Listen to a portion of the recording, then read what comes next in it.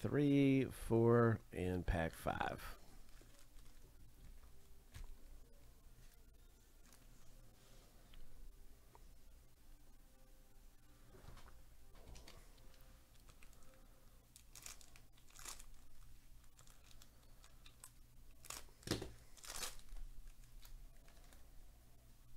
Here is Kamari Lands. Oh, looks like maybe a refractor coming up. We'll see what it is.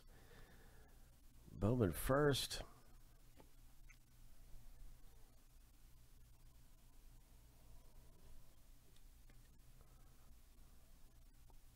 Chance Westry.